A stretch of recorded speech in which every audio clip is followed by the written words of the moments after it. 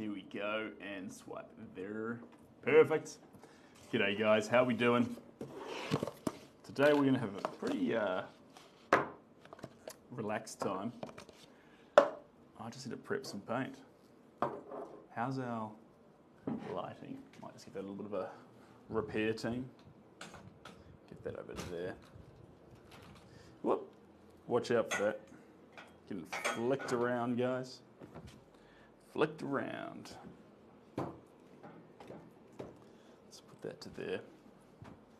And turn this down a wee bit. There we go. Alrighty, tardy. How's our eagle? Perfect. That'll do just fine. Okay. Swipe there. Today, we are making some paint. Just a little bit. And then if we get really excited, we'll paint with it. But no promises. No promises.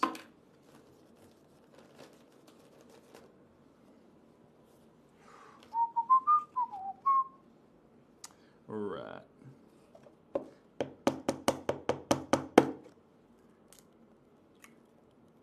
Here we go.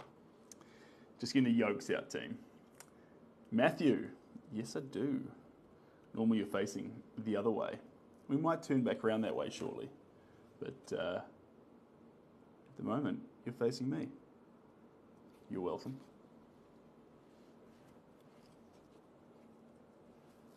There we go. Dry off this yolk a little bit and then roll it. Here's a little yolk. Roll it into my hand ever so gently and then pop it into here. Boop. There we go. Beautiful, beautiful, beautiful, beautiful.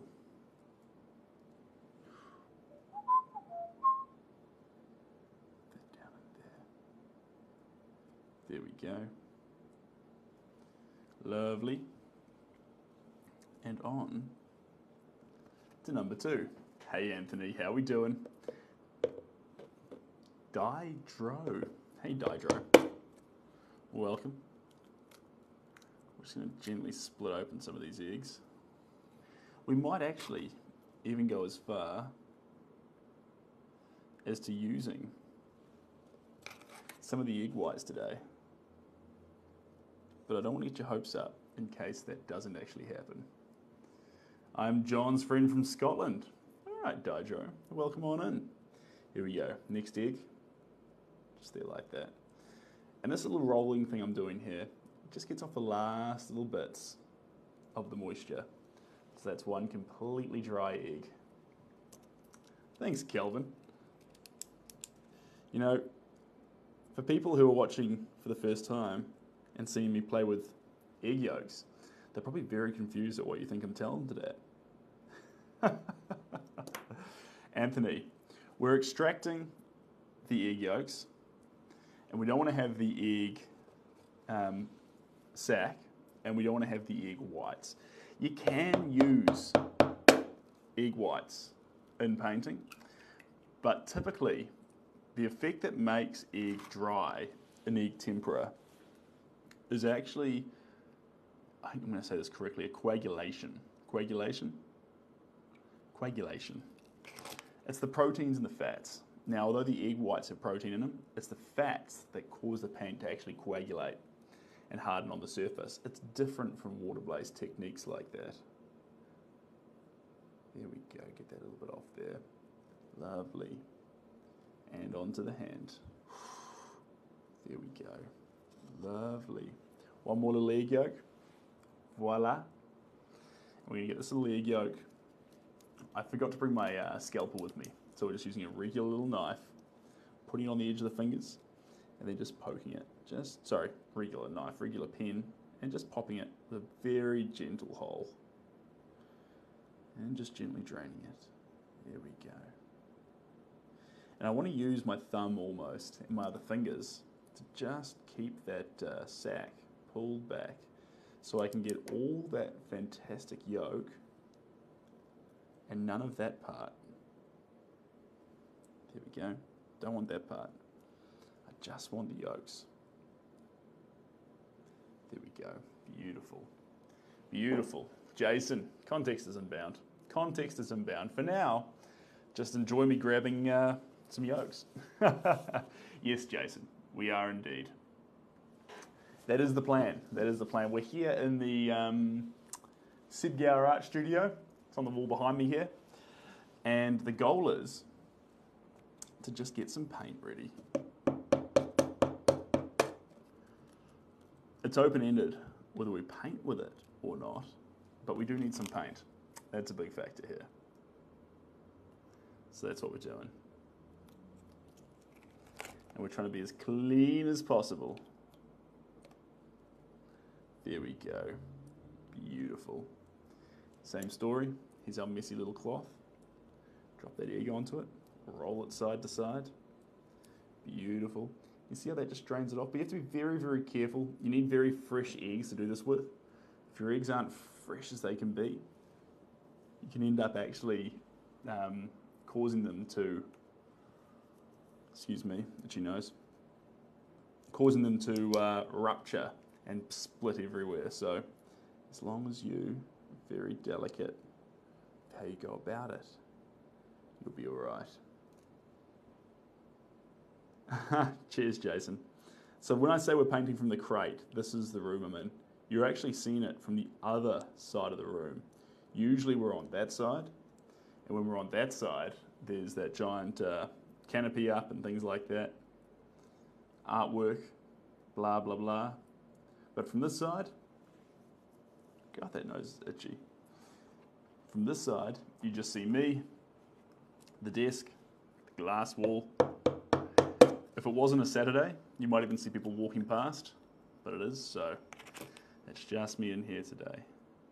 This is how Seb Gower spends a Saturday day, and if we have too much fun, you might even see how Seb Gower spends a Saturday night using these egg yolks.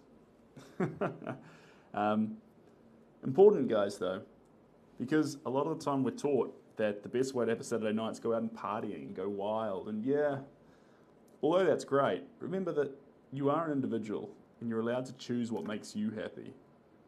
And if that's not going out to town, and it's actually staying inside and doing your craft and pursuing something unique and different like that, then please, by all means, do that and don't think you're missing out.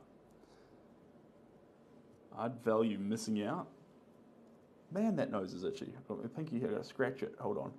Whew. G'day, Justin.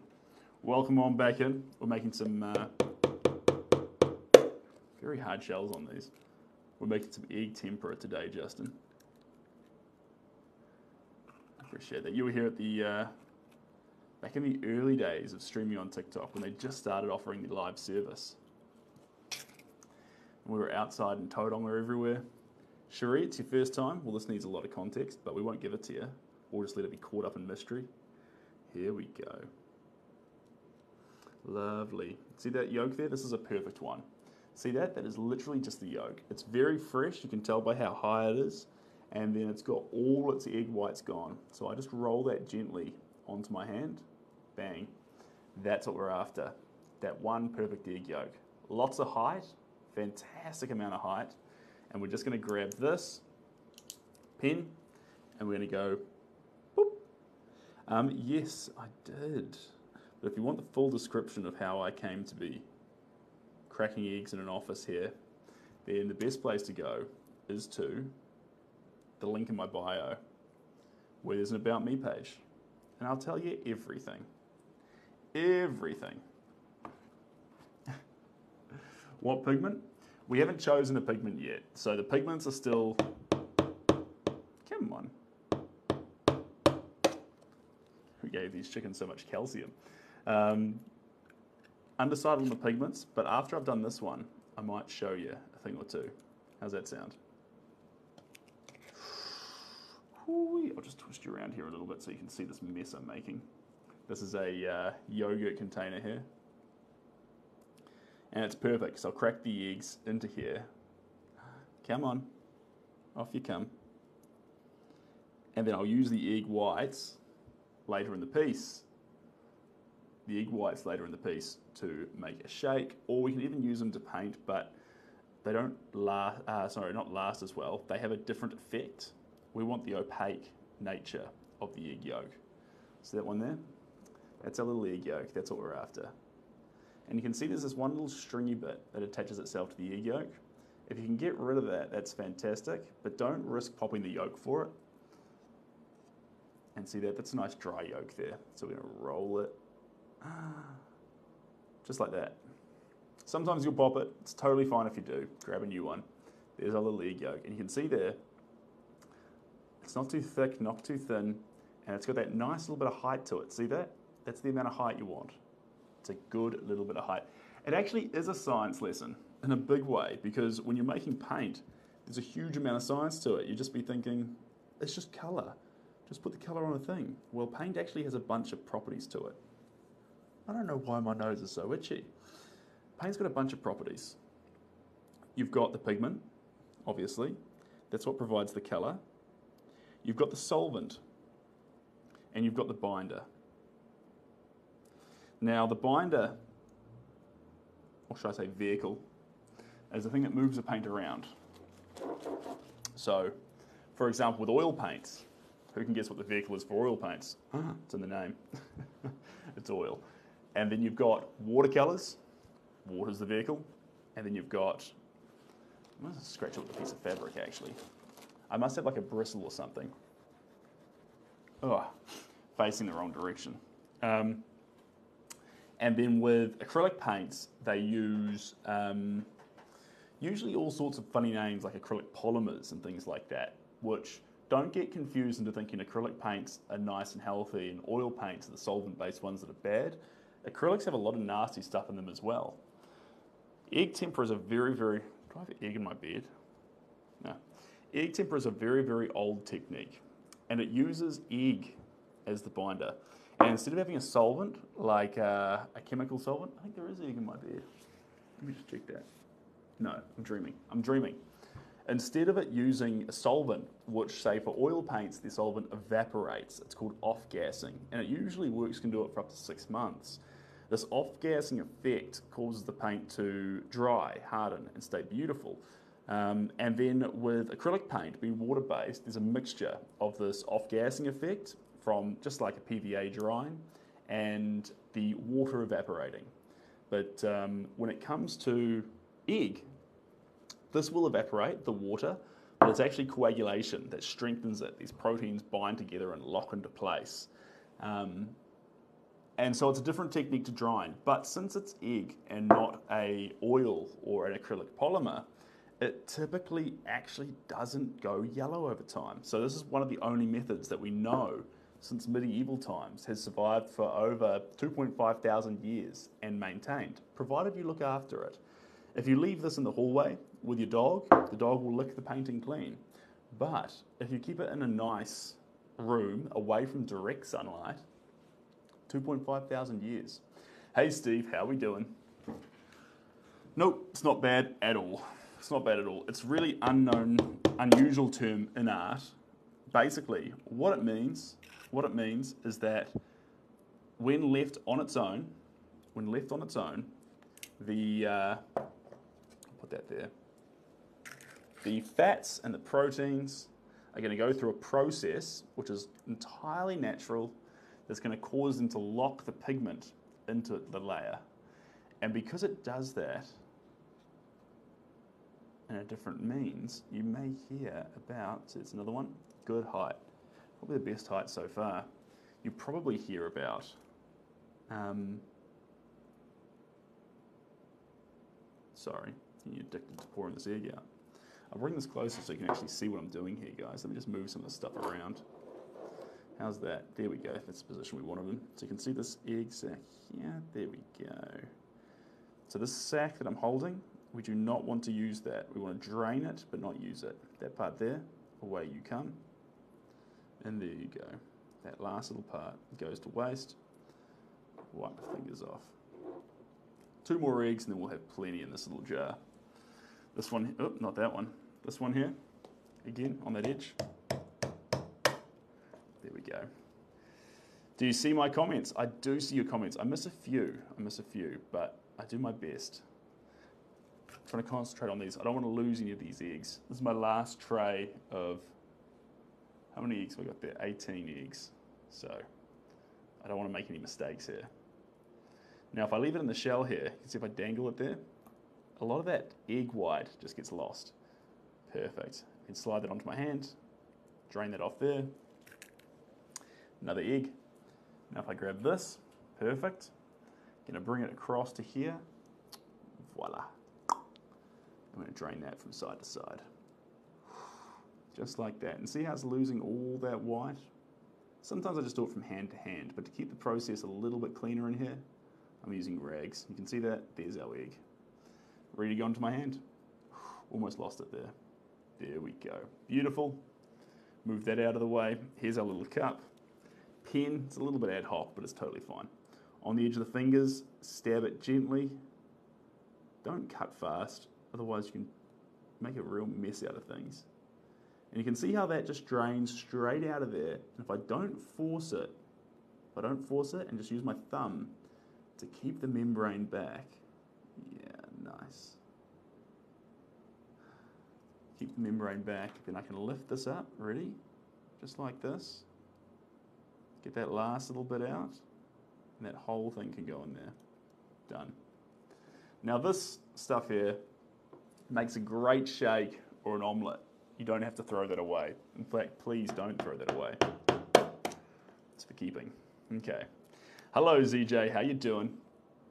Um, let me just swipe back this way. There we go. and welcome from Mexico. Yes, huge difference. So the nutrition of the chicken is going to have a massive difference, and the most important difference, which you may have guessed, between different eggs is how fresh they are. How fresh they are. Here's another one. This is a really good one. Ready? Just coming down onto this. And then we're just going to gently rock it side to side. And see how it's leaving behind a trail? Almost like a slug. That's exactly what we're after. Just like that. Perfect. Now I'll get my hand out. Woo. There's our egg.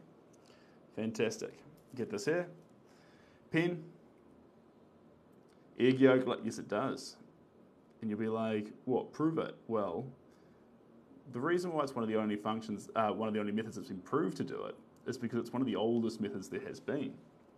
The Last Supper, if you remember that painting with Jesus in the centre, done by Michelangelo, I think.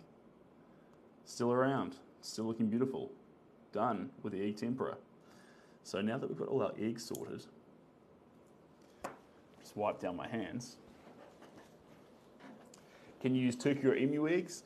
I use just chicken eggs, but I have heard of artists using quail eggs, which remind makes me think that. Uh, I mean, that strikes me as a big job, guys. But um, I suppose you could. I suppose you could, because it's got very little to do with the fact it's a chicken egg. What it's got a lot to do with is the fact that it's a it carries the fats and proteins appropriate to coagulate and therefore set and hold the pigment onto the surface, and do so indefinitely. So, just put the lid on this. There we go.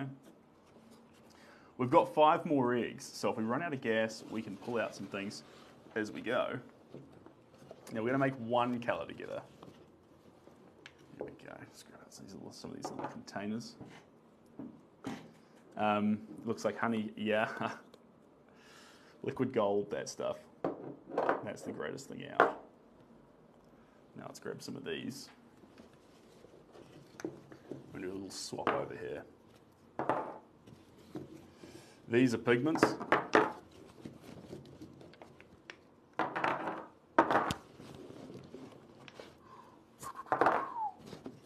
There we go.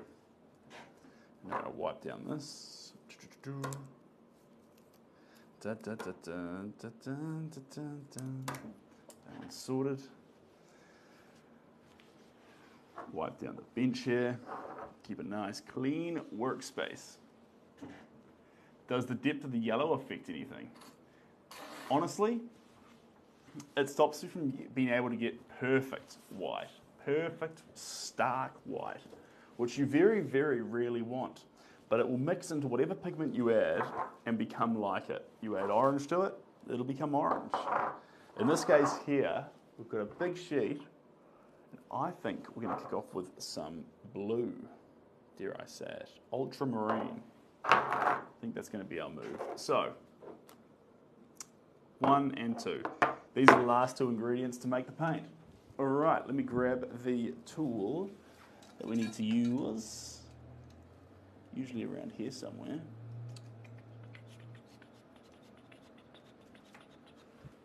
Here we go.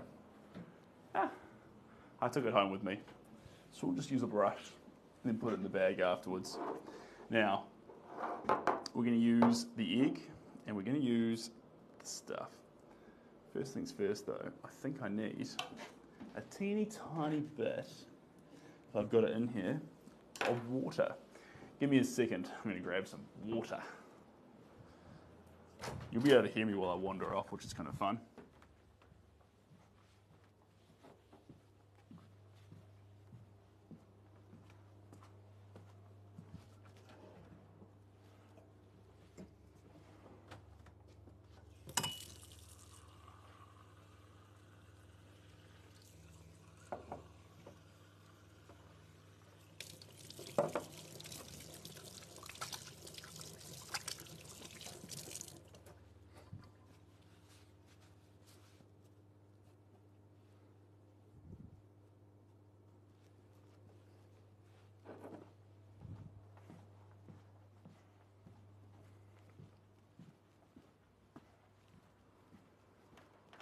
Coming on back.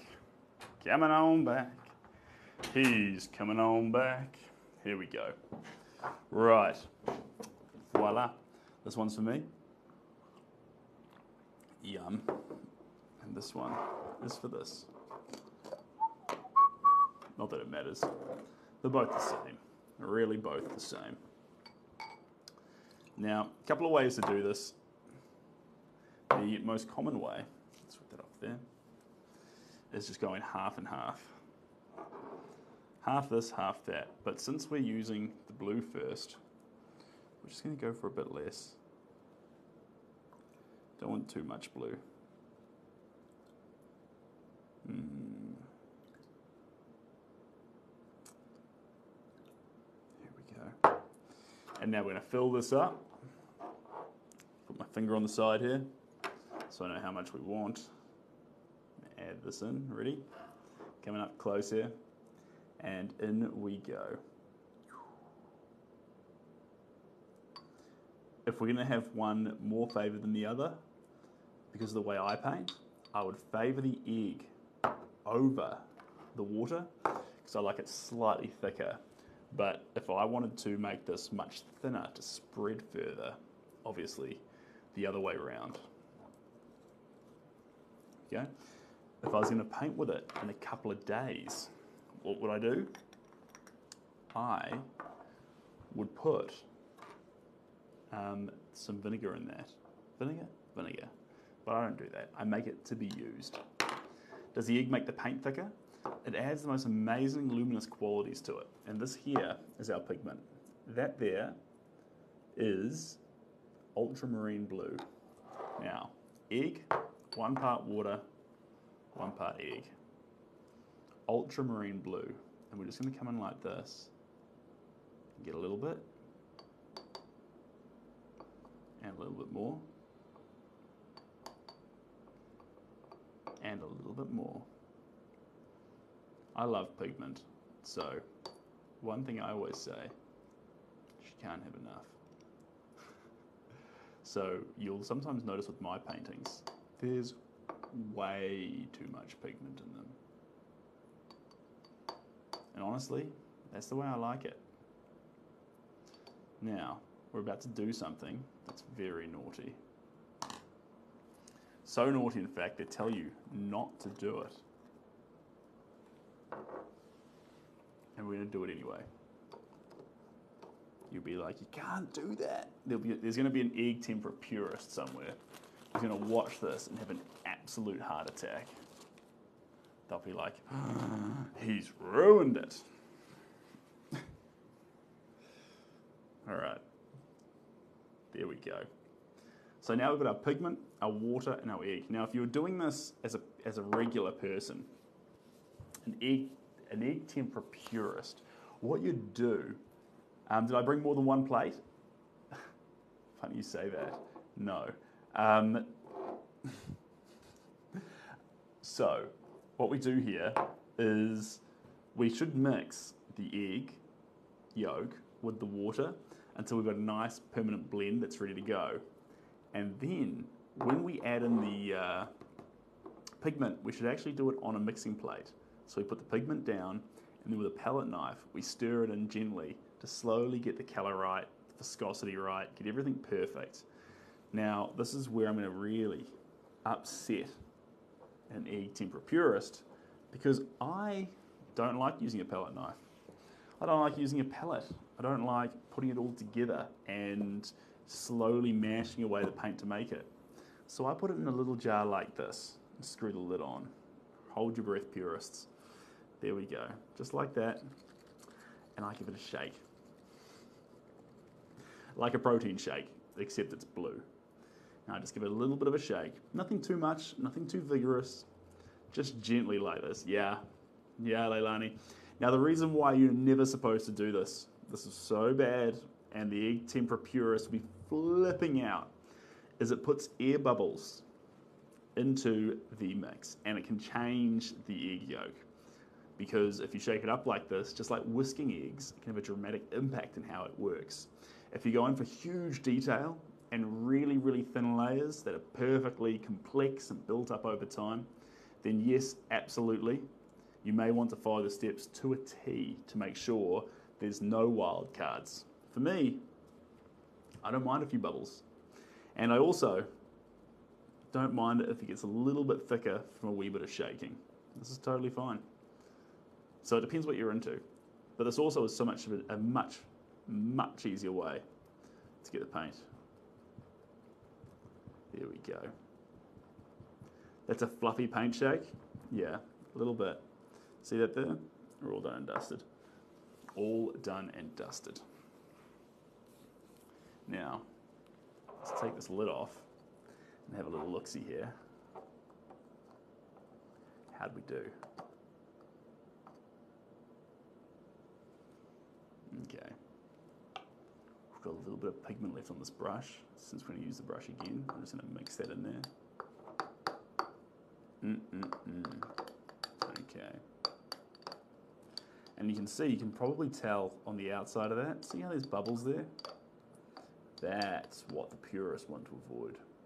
But because I'm going to really razzle dazzle it onto the surface, that doesn't really bother me.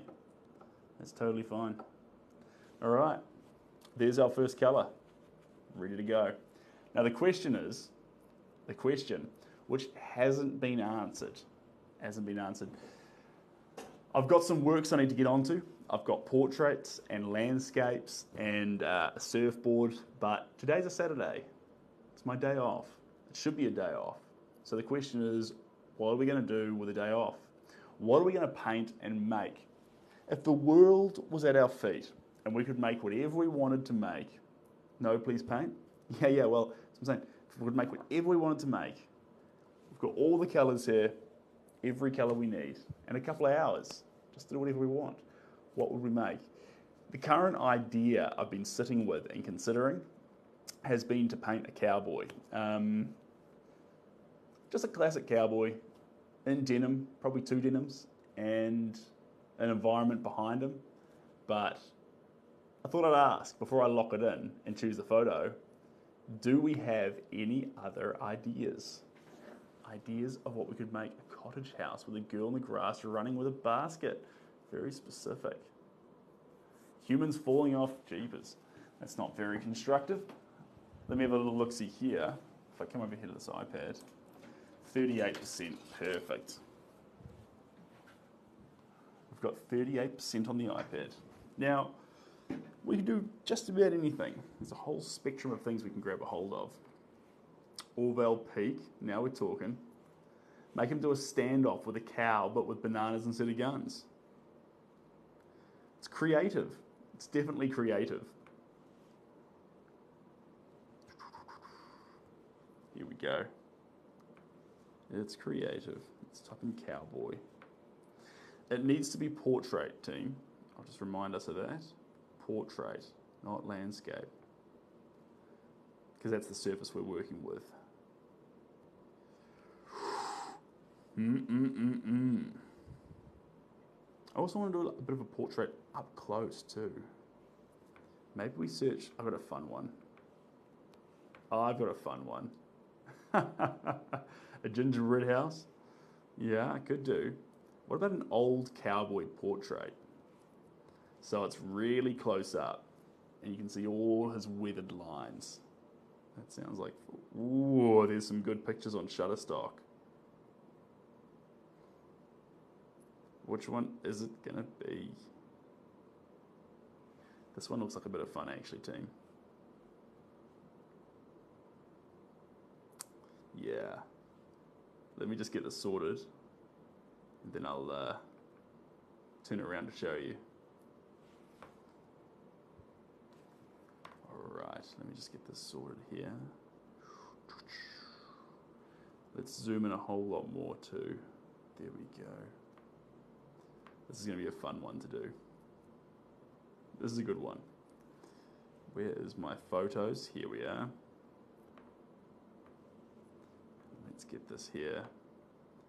Just change the zoom ever so slightly. What's the size of our canvas? There we go. Beautiful. Here's our picture. Get ready. Angry Cowboy. This is our plan for today. I think we might even zoom in a little bit further even. Go the whole way in. There we go. Now we're talking. Zoom in a bit more. There we go. Okay, bigger face. We can focus on those fe uh, facial features. The beard blends into the face a lot, so we'll only be able to tell the beard by the hues that we use. The hand is there. The gun's insinuated, but actually it's not about that. The, ha the hand's just grasping it. And you could insinuate that to be a shovel, a spade, a hoe, whatever you like all we see is just a really thin piece of metal. Um, oh my God, painter's point of view in his eyes, maybe. Well, we'll see. We'll see what comes out. He's got amazing contrast in his face, though. A lot of fun features to capture. And all this area through here, all this dark area, going to be this blue that we've just made. So let's get started on that. I'm going to put this iPad back, and then I'm going to spin you around to be back with me. Bear with me just a second. Bear with me, and you'll see a whole world of pure imagination.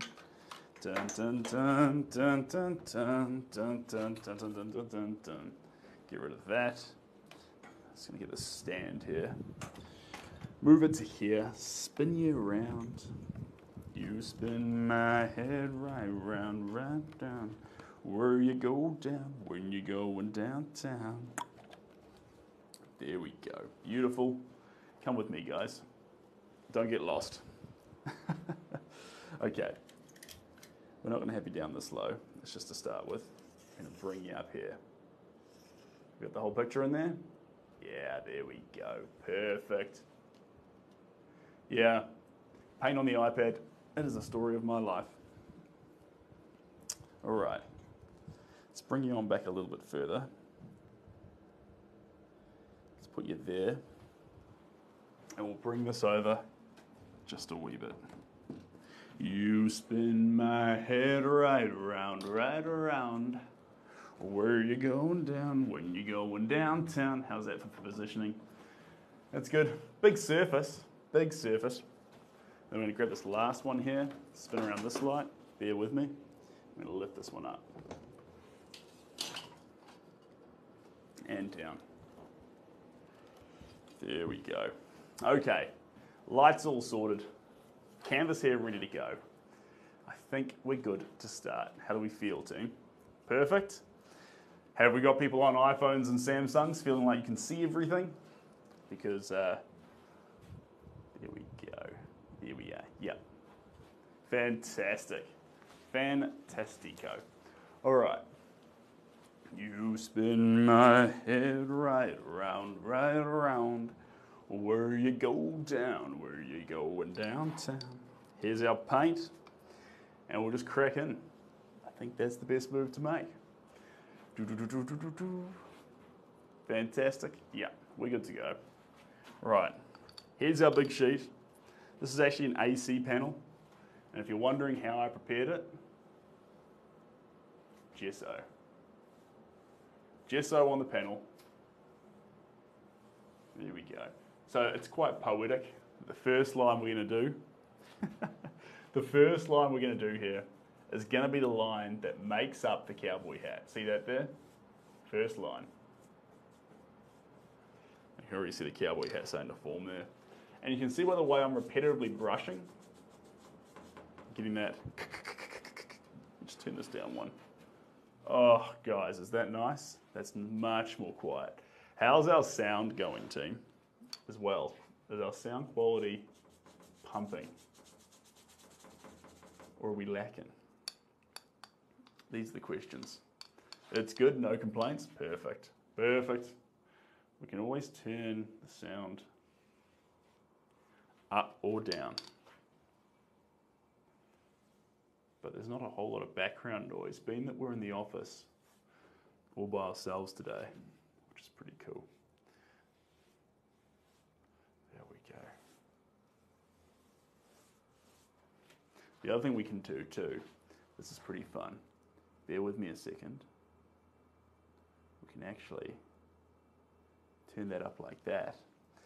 And then there's massive receiver gain. And see if that actually has a good impact on the sound. How do we feel about that team? Is that good or bad? There we go. Put that there. Put that there. There we go. We're sorted. Did we improve it or did we ruin it?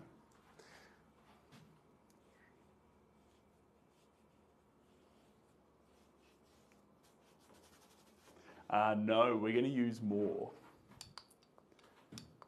Please paint.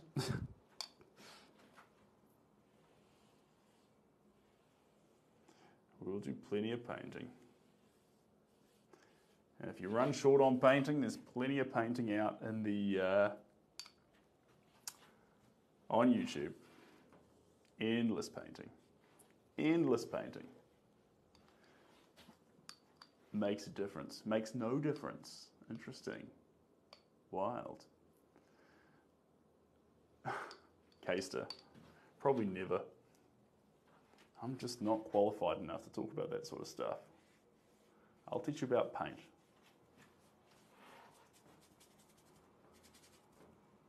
There we go. Beautiful.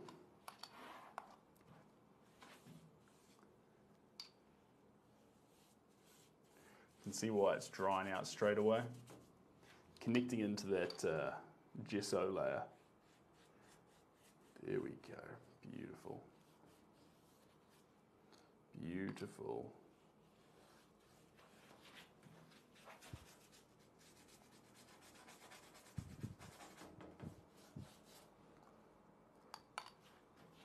Arguably, arguably it wants to be a bit thicker.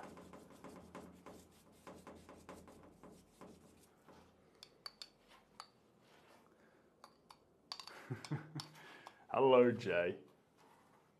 Sounds like a good plan. That's good.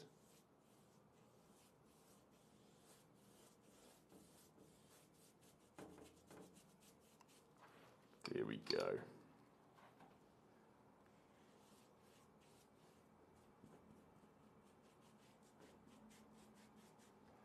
Perfect. Mm-mm-mm.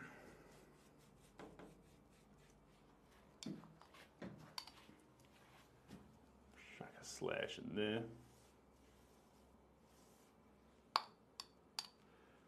Just the right amount of this.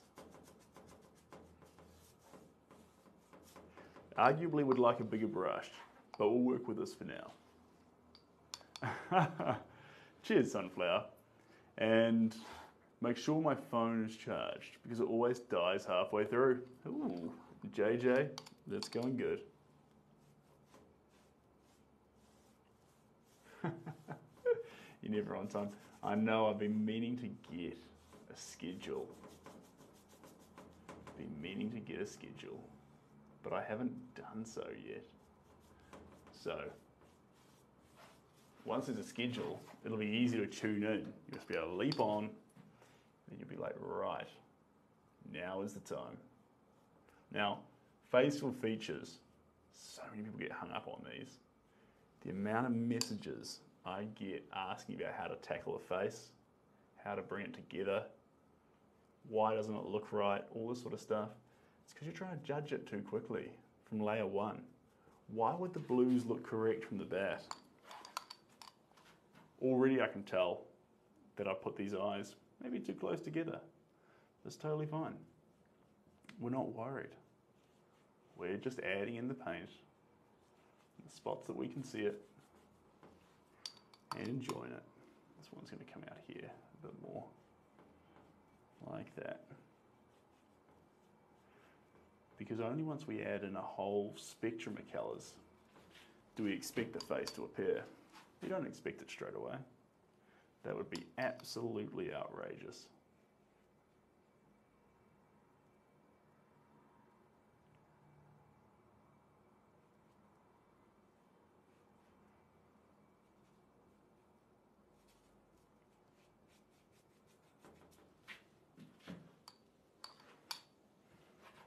There we go.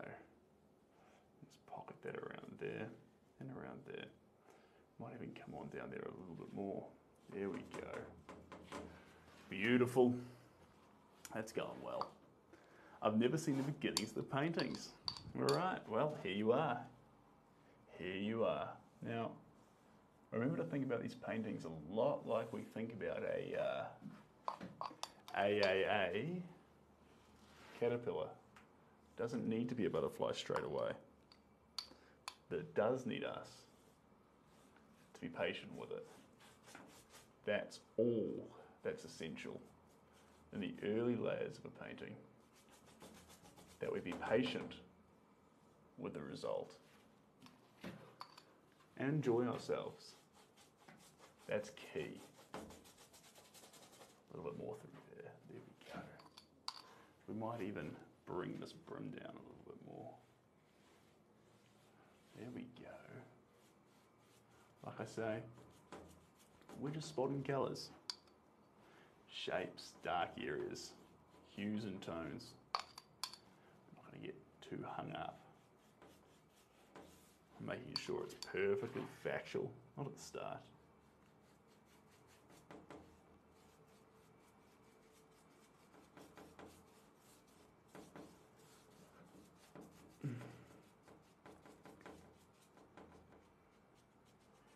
See this here? That's the few bubbles that are in the work. We're just going to spread those bubbles out, dissipate them. Doesn't matter if we lose a bit of the facts in the picture, it's totally fine. We can bring those back. well, uh, this painting's got a long way to go, but I'm going to bring this blue in all over the show. So to start with, I sort of framed a few of the little pieces, but don't be surprised as the blue just consumes most of the picture and leaves almost just the face sticking out. Because this coat of blue as well will act as the first coat that sucks up or works into a lot of that gesso. So we've got to allow it to do that, to loosen up that gesso layer. But we also have to remember, we've only got so much blue. Once we run out of blue, we're out of blue. And unless we mix some more, we won't have more blue. That's part of the fun. It makes it uh, more purposeful, like sniping. Think of uh, a lot of artists just grabbing colour after colour, going at the canvas wildly, which I do agree with. But imagine if every colour in your collection was actually intrinsically finite. And by using it, you made the choice to slowly run it down a little bit. There we go. Beautiful. See that? Doesn't need to be exact. These brush strokes can be a little bit more wily and woolly. There we go. And on the space here too. No harm in that. Just pop in a few of those bubbles. Keep it nice and flat. The one thing about egg tempera, the one thing about it, is you've got to make sure the paint stays flat. That way it dries efficiently, layers efficiently. Everything's better when the paint's nice and flat. There we go. We're going to go up the top here a little bit too. Now that we've done the hat, I want to get some blue into this background.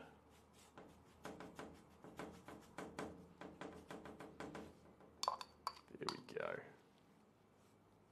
Right up in here. Beautiful. Just like that. Covering up all of that, all the way out to the sides. Beautiful. Beautiful, beautiful, beautiful. Scribbled a. oh, thanks, mate. But remember, one person's art is another person's nightmare. Not everyone's into the style of art. Not everyone's into my art. If you hate this, I love that. Because if you don't like it, you're entitled to your own opinion. And what you don't like helps you figure out a better idea of what you do like. So that's where we're at. You've probably heard me say that before, if you've been in here before. Um, oh, thanks. Oh, your son likes watching the videos. Oh, that's fantastic, Tarquin. I'll say hello from me to your son. It's an absolute pleasure to be here painting for him. Now, the one catch with this picture, it's quite funny actually, is a drastically underprepared nature in which we're approaching it in. I had a rough idea of a cowboy in my head, but I didn't know this was going to be the cowboy. And I didn't know if I was going to spend the whole day today making just pellets and pellets and pellets of paint, or if I was going to actually start thrashing around some paint on a canvas. I wasn't sure. Anyway, I decided to paint. so this is our only jar for painting. The other one's got the egg yolks in it. We've only got one little jar for making artwork. How wild's that? We'll make it work, but we've only got one jar. So we're gonna run the blue out, and once the blue's run out, we'll grab the next color, mix it in this jar, have a little bit of blue through it, and then with that little bit of blue, that little bit of blue, we will move on to the next color, and the next color, and the next color. So every additional color is gonna have a little bit of its predecessor in it. So we're using this pot each time. Kind of fun actually, kind of like that. If it's too much of a stark difference, we may, we may wash out the little pot between rounds. We'll see. We'll see. Let's get a bit more in the space here.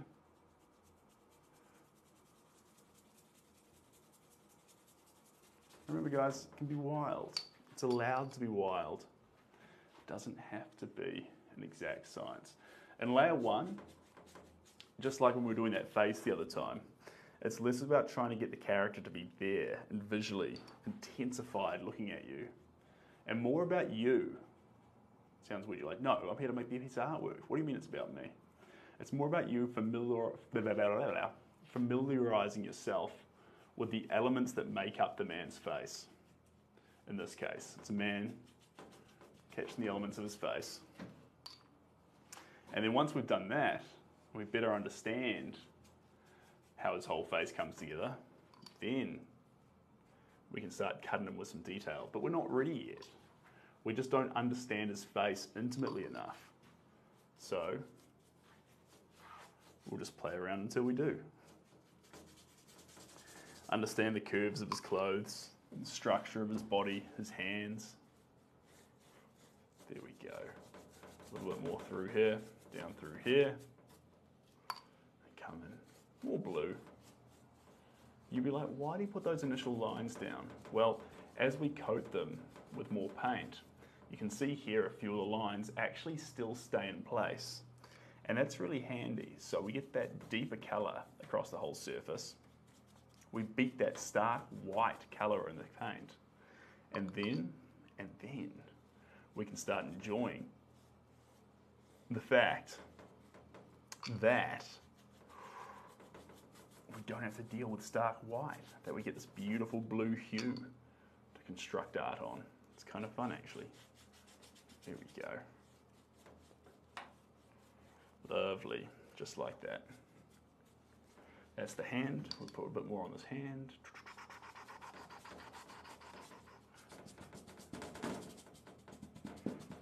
Beautiful.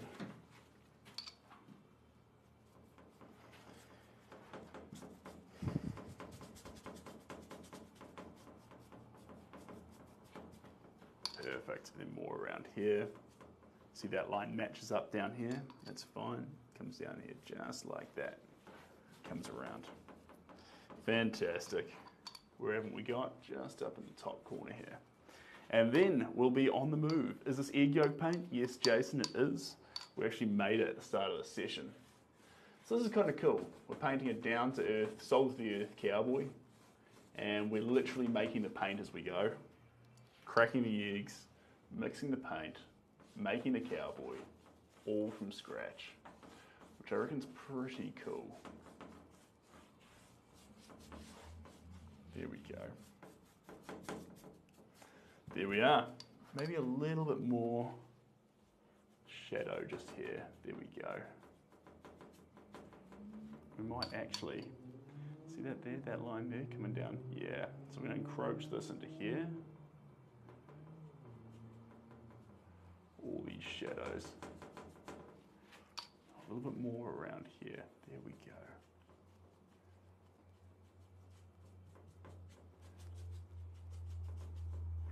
See this? You'd be like, he's not even painting it that much. I'm just familiarizing myself with the structure of his face. The structure of his face. Here we are. And that, my friends, is the start of the blue within the picture.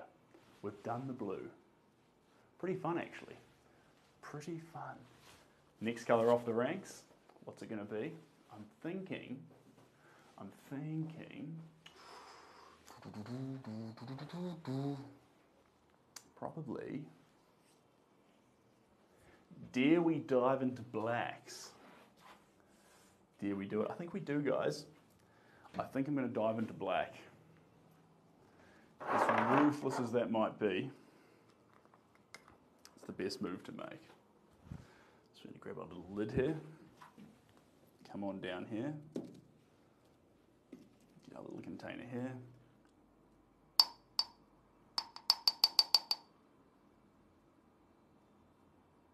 There we go. Beautiful.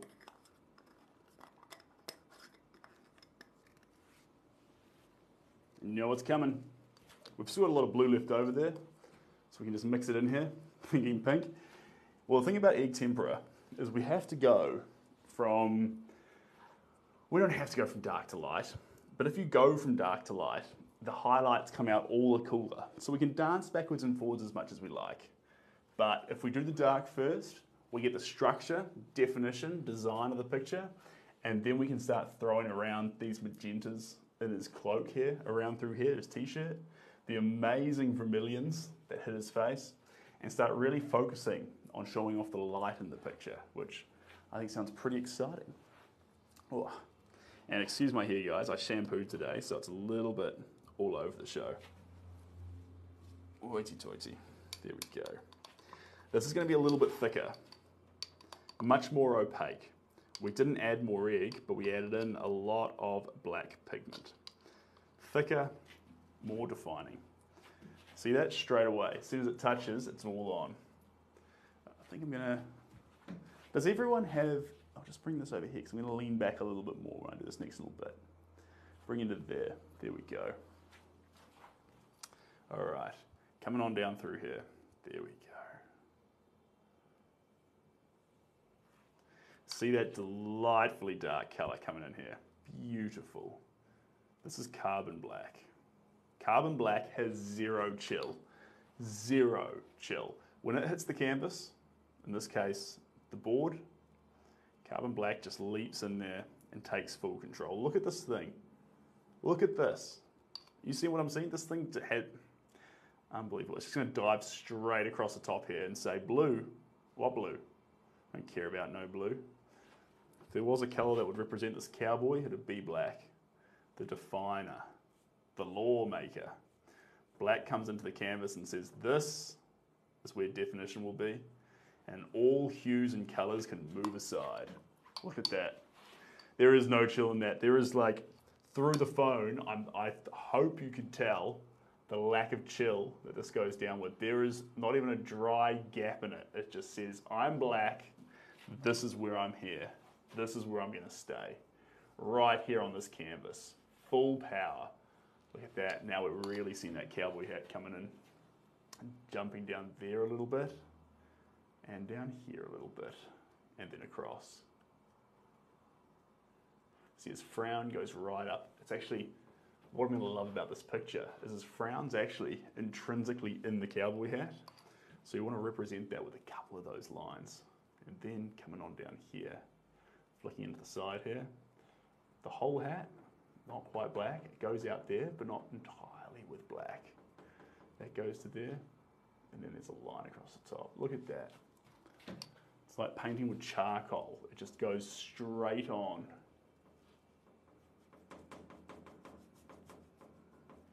Beautiful. And right across, lovely. Look at that colour color, tone, strength, guys. Strengthen that pigment. You see what I'm saying? um, coming in here, let's leap down here. Oh yeah, down to here. Coming down the whole way. There we go. That was a little bit thinner. See how it thinned out just at the end there? That's all right. Get this in here. We want to make sure, guys, and you want to pull me up on this. If you see me starting to go like this, tell me this is bad, this is not good, this isn't making art, this is demanding craft. This, this is making art. When you do long, clear, decisive strokes.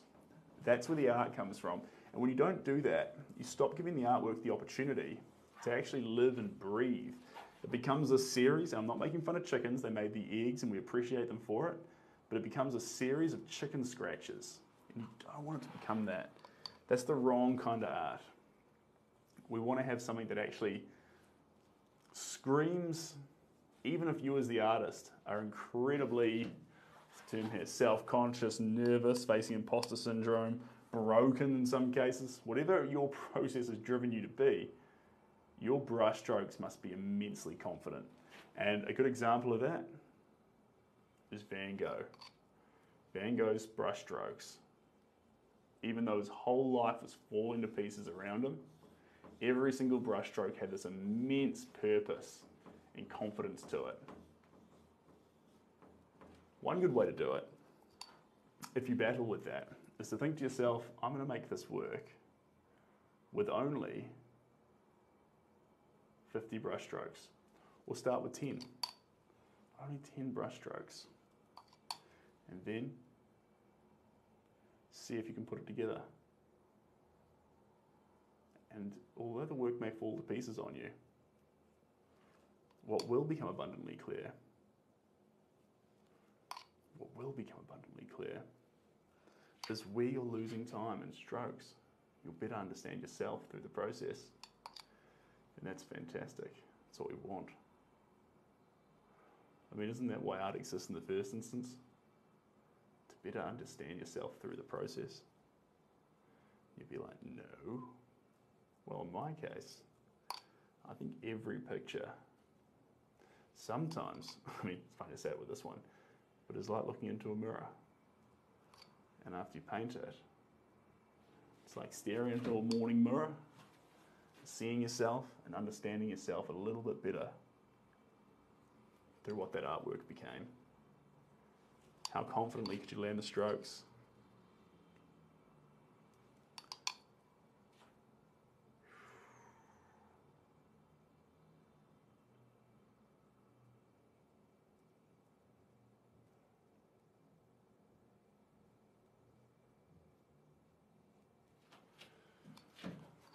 Little bit of a topsy-turvy part of the mouth there.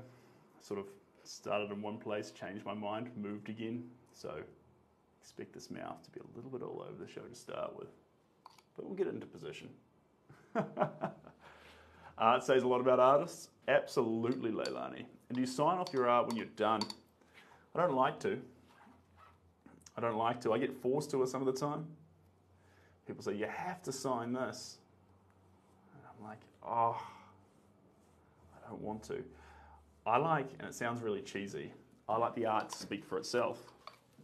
And in the digital age today, there's no need to put your signature on it, being that we can look online, look at all sorts of factors that'll prove that it's a piece of artwork.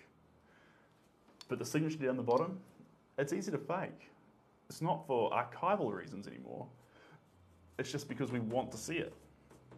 And so typically it's the ego of the artist that wants the signature on the work. I think if you feel like it's peculiar, please, you're empowered. You can sign the back of the work. That's okay. But if you don't want to sign the front because you're afraid of the artwork, or afraid of what people will think that you made art, or felt the need to even sign it, think about those reasons more. Focus on those. And actually, if it's got nothing to do with ego, and that actually you're proud of it, you want to sign it, and it, it represents a piece of you, put your signature on that. Just make sure you're doing it for all the right reasons. But um, typically, I'm an advocate for not signing the work. A lot of um, collectors ask me to sign them and say, please sign this. Or when you send it, please make sure it's signed, and things like this. But my typical style, I prefer unsigned, raw, completely and utterly raw.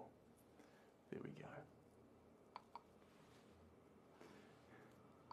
Um, hey, haven't seen you in like a week. Glad you popped back up. Aurora, it's good to be back. You're joining us while we paint a cowboy. Now, I'm here for a little bit longer, but I almost need to pop out because I need to turn on the air conditioning, guys. Someone's trying to melt me in this room here. And although it's great for the drying of paint, I swear, it'll turn my egg cooked if I'm not careful. Oh, cheers, mate. I appreciate that. It's early days. It's early days, but there is a fun symphony that does occur between the likes of black and blue. few fellas been beaten black and blue. This fella's probably beaten a few fellas himself, black and blue, actually.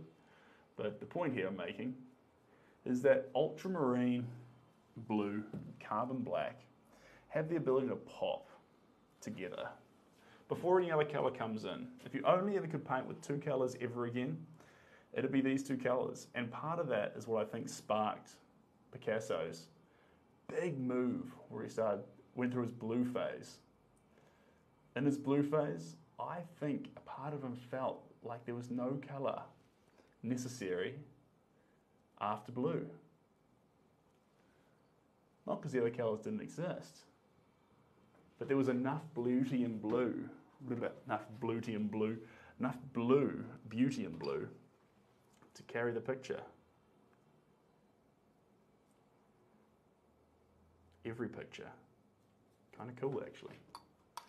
I like where his head was at. I disagree, but I like where his head was at. I think it's quite an exciting trail of thought. But won't the egg start to smell? No, it won't. In these thin layers, without the sac, so without the membrane around the egg, in the thin layers, it'll dry almost immediately, within 20 seconds, and harden within 20 minutes. And once it's hard, it's borderline unmovable and doesn't smell. I want you to think about the likes of egg when you leave it on a plate overnight. Not the whole egg, just the egg yolk, cooked egg yolk sitting on the plate there and it goes rock hard on the plate. That's similar to how this works here with the process of uh, coagulation.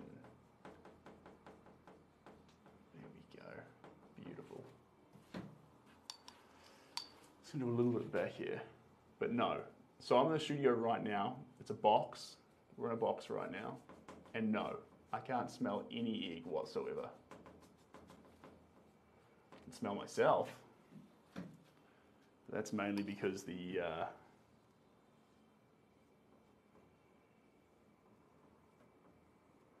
it's mainly because the, the, the, the, the air conditioning is not on, so we'll fix that.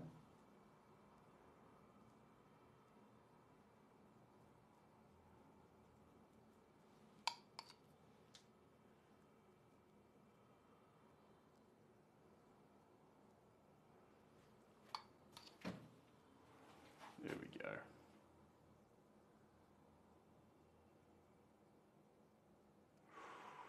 See, we just adjusting this. It's funny, a few little adjustments on the eyes, and suddenly he's looking in a completely new direction, in a good way. We want his gaze more towards us.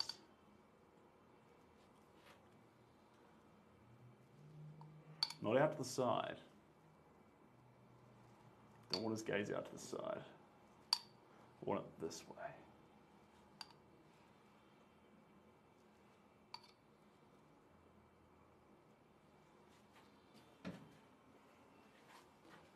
Let's build it in there.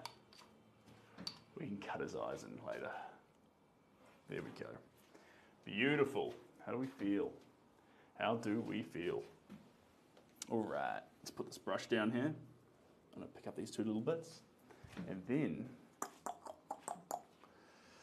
how far back are you? Are we having fun? Where are we sitting? That's kind of fun, man in blue. We're not done yet, but uh, it's a fun start.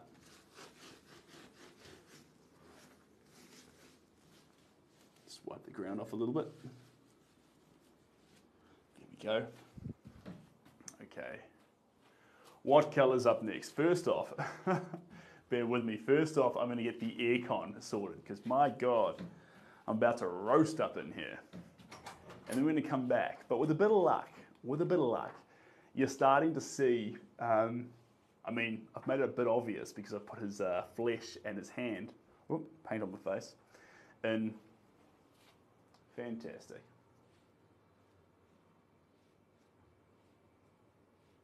Here we go. I've put the, uh, you can see the sweat forming on my face. This is how hot it is in here right now. You can see the um, face and the skin starting to show out of the picture. And then from that, the darker areas, which sort of gives away the angle he's standing in, that he's holding something, that he's rigid, that he's firm, that he's gruff, that he's made of grit. And he is wearing a, beautifully uh, well-crafted cowboy hat, which in this picture here comes off like shiny felt. And the picture that I've got, it's actually more like leather, but um, we'll adjust that as we start adding in the uh, more earthy tones. I don't think we'll go into a wild spectrum of colours. I think we'll keep building out the earthy tones, but we'll see. We'll see. Anyway, for now, I'm going to turn on the air conditioning and I'm going to come right on back. Are we done? Nah, not yet. Not by a long shot. There's depth we need. So at the moment, for example, you can see the character straight away. You're like, oh, I see a guy with a gun, I think, and he's got some sort of thing on. What you miss from this is it's like a comic book picture. It's enough for you to write a speech bubble on to say something. It represents the character in a brief moment. But let me ask you this. Let me ask you this. In this picture here, we want old school steel, gruff, ma- masculine old school grit from the West. Tell me, do you see masculine old school grit from the West in this yet? You'd be like, ah, it's a cowboy who probably has those traits, but no, the picture itself doesn't have it. Ah, good. If that's the case, then yes, we've represented the cowboy, the individual himself, in a brief, fleeting moment if you wanted to put a wanted poster up on a wall. But we haven't actually captured that true cowboy grit of the West. That's going to take additional layers, depth, and little pockets and nuances to actually build that into it. So it's not there yet. We will be able to get it in there, but that's where we're at. The colour rust. Um, we don't want to show rust as much. We don't want to show age. He's old. That'll be represented in his wrinkles. But in terms of the old west, I want that sand, that leather, that um, sienna, the dirt. These are the colours we want. So that'll be what we build into it. Anyway, we'll have some fun with that. Right, aircon. Oh. Hello, Deepak. How are we doing? Good, good. That's good. Um, yeah, I'm working today. All right. That's the plan.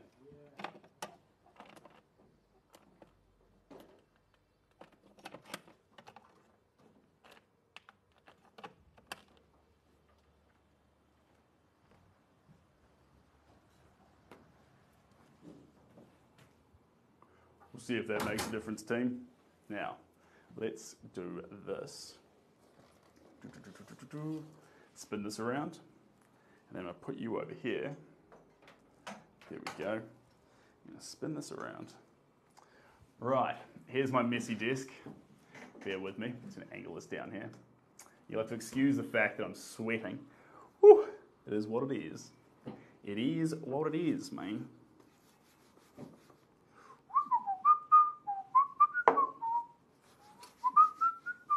Just get a little bit off this desk here. Dum ba dum bum bum bum bum bum ba dum bum bum.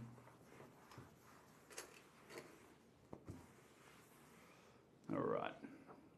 Here's our colour, and then this time round, I'm going to get a little bit of white. So the next colour off the ranks is going to be grey.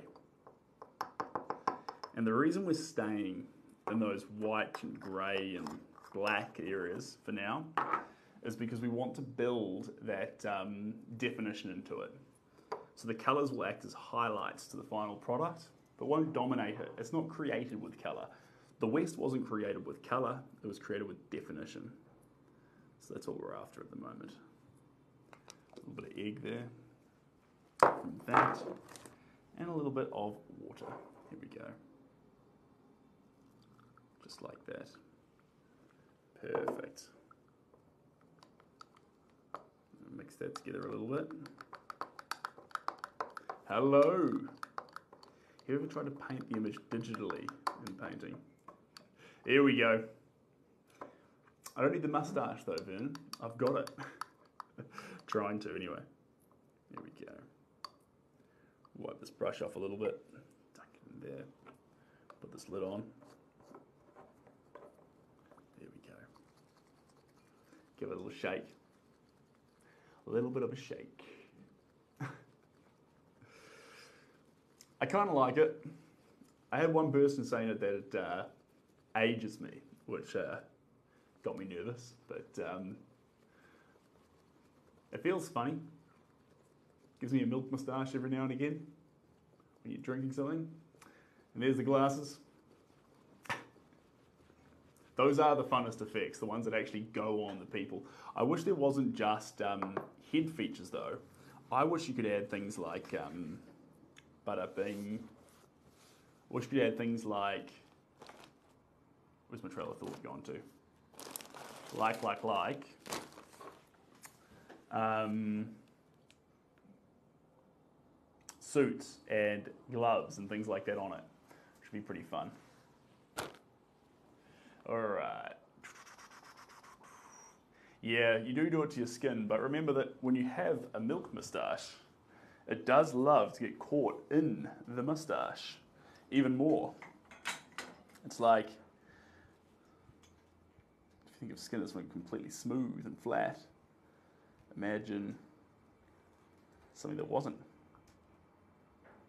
Here we go. Perfect. And 10k likes. Thanks, guys. You're a pack of absolute champions, and that's the most appropriate one of the lot. Absolutely. Let's bring this in here, and let's grab this one here. Mm-mm-mm-mm-mm. And I'm loving it. There we go. Now this color's medium. It's going to be slightly lighter than the blue, but much, much lighter than the blacks. We want to use this to capture a lot of areas, including the saturation in the background. And like I was talking about, I want to see those big long strokes. There's still a lot of texture coming in at the moment from the, I'm just going to move you back a little bit more guys, from the, there we go. Is that the right position? Yeah, just there, right? Perfect. Perfect. Perfect, perfect, perfect. Still a lot of texture coming in from the beautiful gesso layer that we put on at the start. And so we're just dealing with that, but that's okay. Not too worried about that.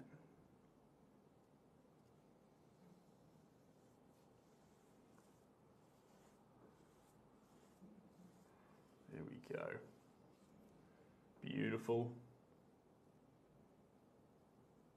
And then after this color, we're going to gradually build in to our lighter palette, if the painting lets us.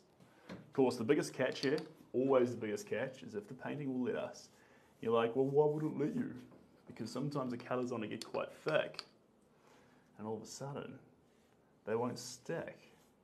They start pulling off the previous layers since they haven't had a chance to dry yet.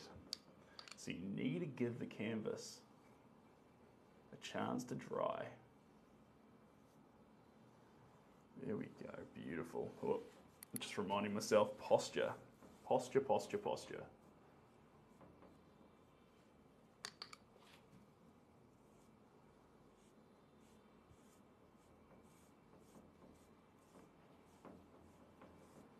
There we go.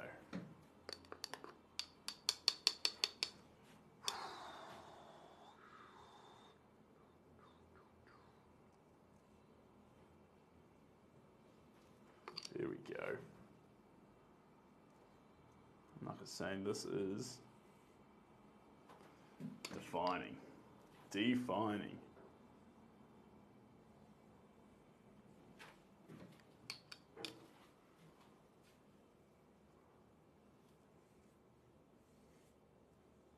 There we go.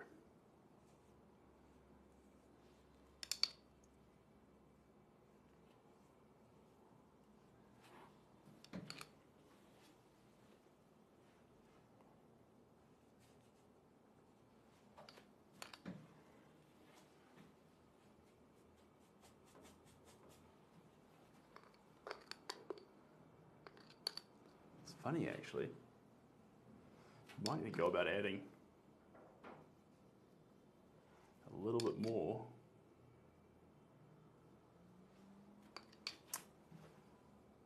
White to it, but we'll see how we go for a little bit longer.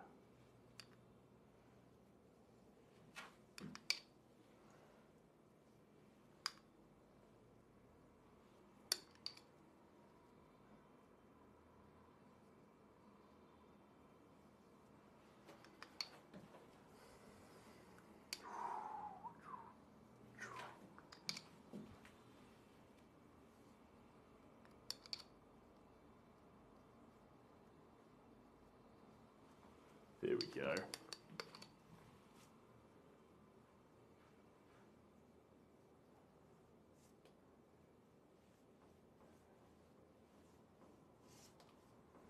Perfect. Coming around in here.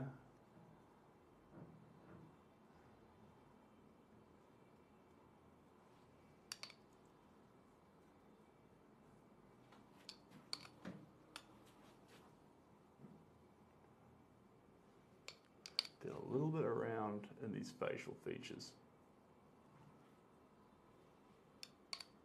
Just a little bit.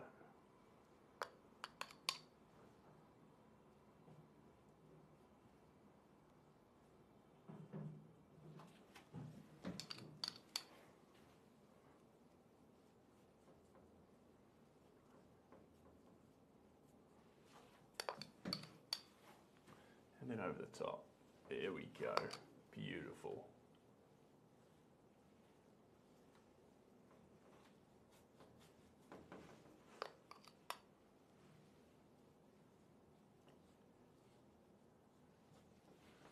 Wonderful. Wonderful. Wonderful. Da da da da da da da da da. Yes, I believe in yesterday. Suddenly, I'm not half the man I used to be.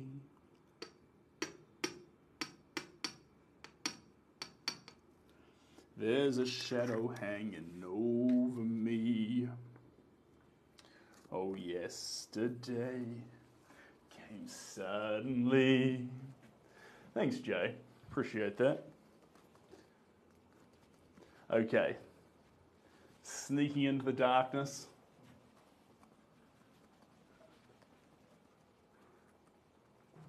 We'll see the impact we can have here with a bit of this colour. Yesterday came suddenly. Why she had to go, I don't know. She wouldn't stay. I said something wrong, how I long. I'm gonna watch that movie tonight. Yesterday, I hear it's good. I hear it's good.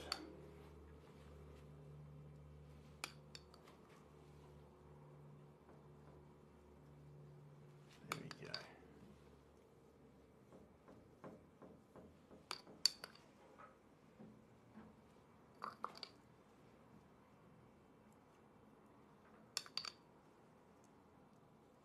There we are.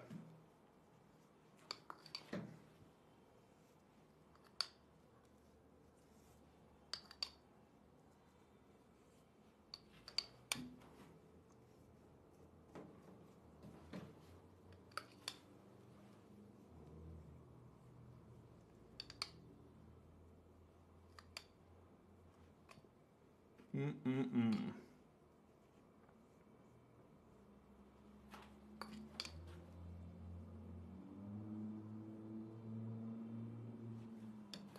There we go. And then down in here.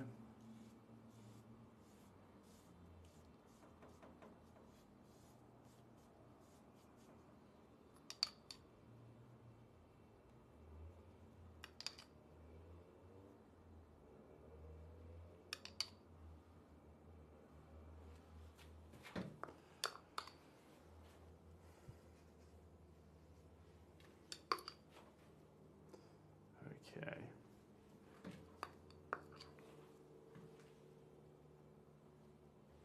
There we are. And a bit more over the top. Lovely.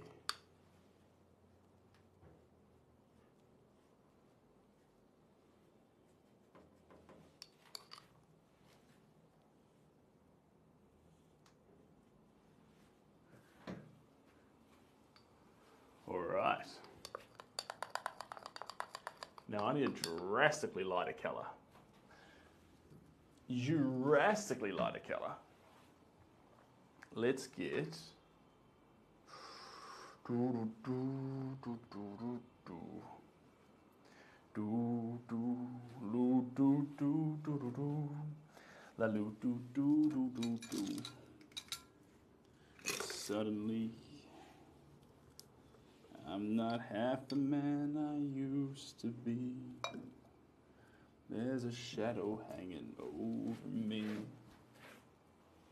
Oh, yesterday came suddenly. Why she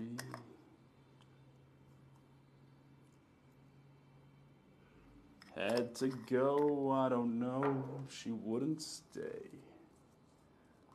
I said something wrong. How I long yesterday.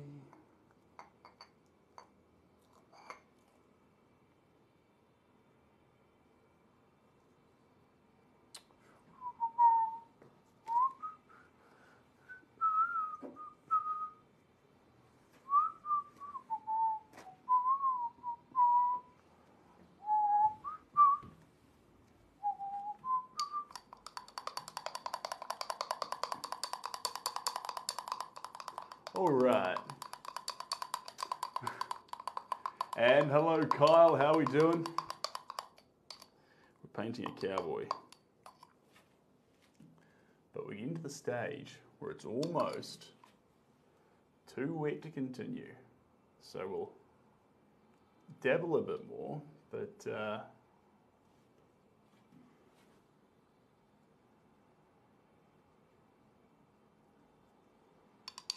we'll have to see.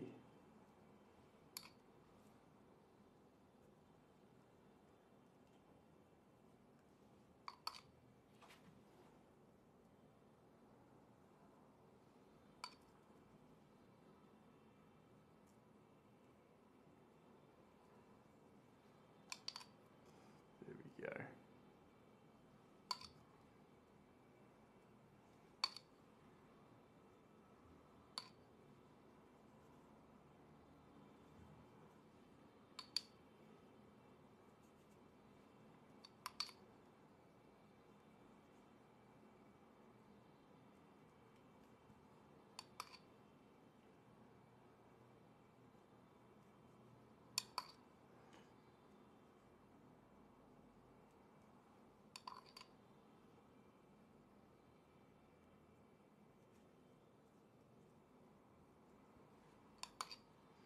There we are.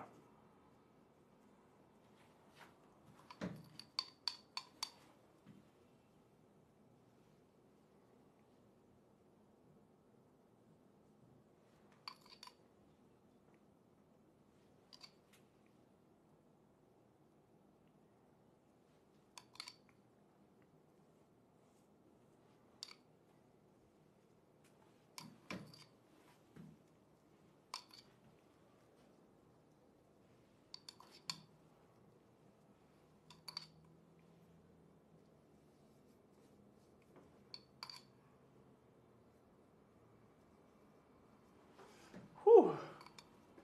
Jurassic different color. Yes, indeed. Yes, indeed. Dabbling in here. Sorry, guys, getting lost my own thoughts as I just slap around some paint.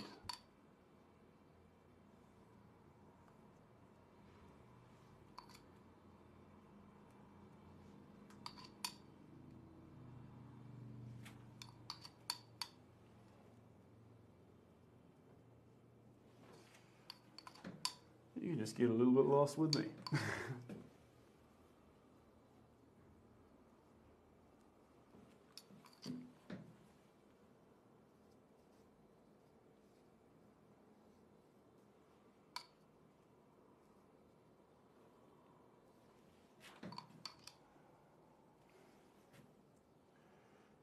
Mm-mm-mm.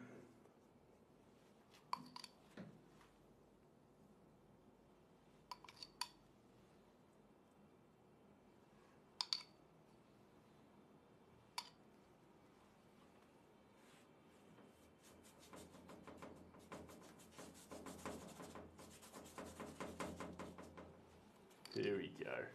And now it's too wet. It's been a blast, team. But that is where we need to pause this picture for our little uh, oh, Sunday sesh. So there is the beginning of our cowboy. bit of fun, bit of wild fun. Looking the part. Perfect. All right, team. Coming on back, we're talking about a bunch of the Frosietas, the browns and the oranges, really building out that cowboy style theme.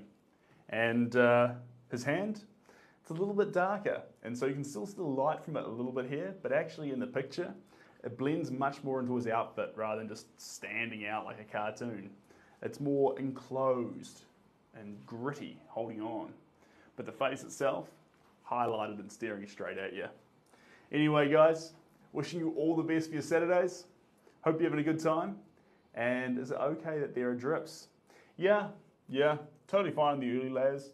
To be avoided, to be honest, if you can. If the paint goes on too thick, it'll start to drip. But with those areas, you just need to touch them up. And uh, unless you want drips in it, put the paint on thinner is the basic go-to. Anyway, guys, that's our 90 minute curtain call. I'll catch you later. Enjoy your day. Bye, team. If I can find the button.